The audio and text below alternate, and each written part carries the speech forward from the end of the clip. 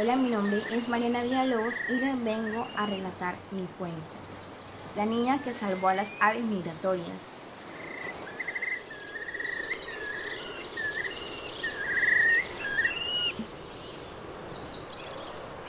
Había una vez en un pueblo muy lejano, la gente vivía muy unida, cuidaba la naturaleza y en especial a las aves migratorias. Había muchas especies como barraquete, salatito, aguja, canela, entre otras.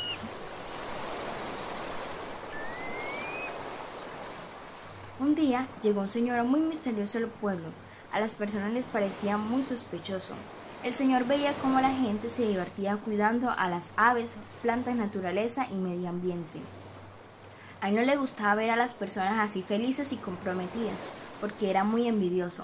Entonces decidió buscar la forma de que el pueblo se dividiera y echó botellas plásticas y basura en la ciénaga y les dijo a unas personas del pueblo que había sido otro grupo del pueblo y se fue del lugar dejando la pelea armada.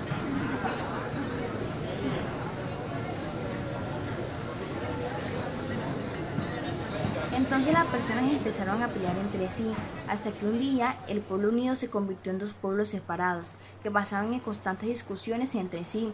Estaban tan ocupados en sus riñas que empezaron a descuidar las aves, la ciénaga y las plantas.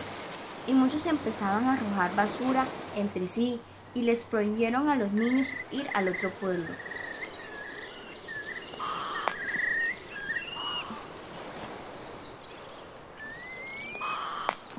Una niña llamada Mariana que se dio cuenta de esta gran problemática y decidió llamar a otros niños de ambos pueblos.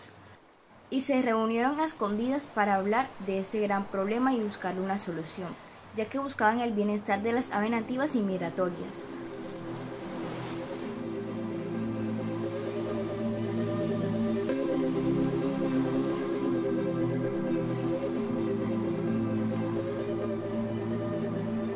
Mariana se colocó en una roca grande, la cual separaba los dos pueblos y los niños llevaron a sus padres en ambos extremos cerca de la roca, para que escucharan lo que Mariana les tenía que decir.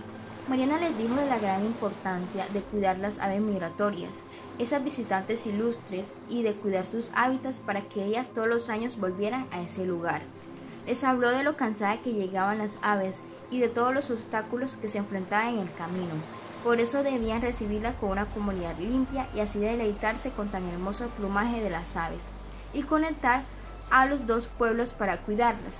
Entonces se dieron cuenta de que sus peleas eran absurdas y que esas riñas afectaban a las aves migratorias y a todas las personas, entre esos los, los niños que se veían más afectados.